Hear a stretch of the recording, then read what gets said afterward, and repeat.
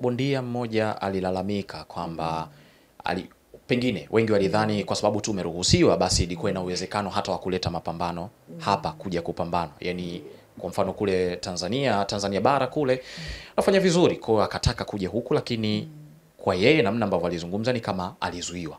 Ni kweli iko hivyo.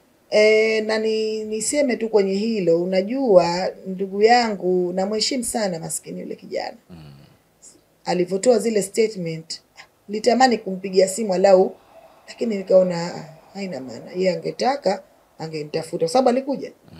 alikuja wizarani kwetu, kampokea mikono miwili, mm. tukapiga picha za kumbukumbu, tukazungumza mengi. Wakati anakuja, mimi nimeshapeleka waraka serikalini wa kwamba uruhusiwe mchezo huu kwa sababu Mheshimiwa Rais wakati anaingia katika maagizo yake yale kumi na tatu alisema kama kuna sheria zinakwaza zileteni serikalini. Katika sheria zilizokuwa zinakwaza ilikuwa hiyo ya ngumi. Maanake mimi waziri mwenye dhamana ndo nilopeleka ushawishi serikalini, sio Mwakinyo.